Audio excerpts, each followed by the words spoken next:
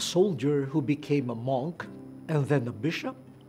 That's Saint Martin of Tours or Martin the Merciful. And we will celebrate his feast day on the 11th of November. Martin became a soldier of the Roman Empire at the age of 15. It was expected because his father was a military official stationed in Italy. As a soldier, Martin led a humble and upright life. He was also noted for his generosity towards the poor, with whom he shared much of his salary. It was said that one time when his troop was patrolling, Martin saw a beggar freezing in the cold. He stopped and cut his own cloak and gave it to the beggar so that he might protect his body from the cold. Martin was not yet a baptized Christian during that time, but he was already living out the gospel teaching.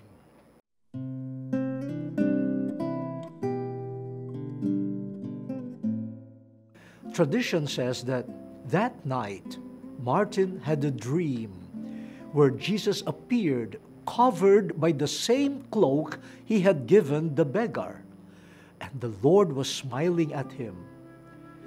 Another story says that a fellow soldier had a similar dream, but this time the Lord spoke, Martin, clothe me with this garment.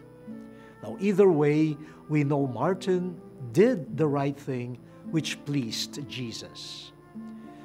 Martin was already in his 20s when he was baptized a Christian, and throughout his military career, he gave, according to Pope Emeritus Benedict XVI, a testimony by being respectful and inclusive of all, treating his attendant as a brother and avoiding vulgar entertainment.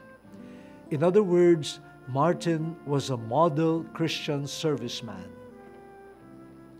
When he was released from military service, Martin went to France, where he learned from the saintly Bishop Hilary of Poitiers. He was later on ordained a deacon and then a priest. With the help of his followers, Martin founded a monastery in Ligugé in 361. But the people of Tours demanded more from Martin.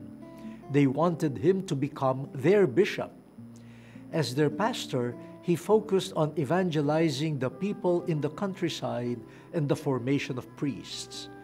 Here we see the generosity and readiness of St. Martin to share what he had. If when he was still a soldier, he shared his cloak and salary with the poor, this time as a bishop, he shared himself by shepherding the people. In fact, when he was about to die, it was still the people and their needs that was on his mind. He prayed,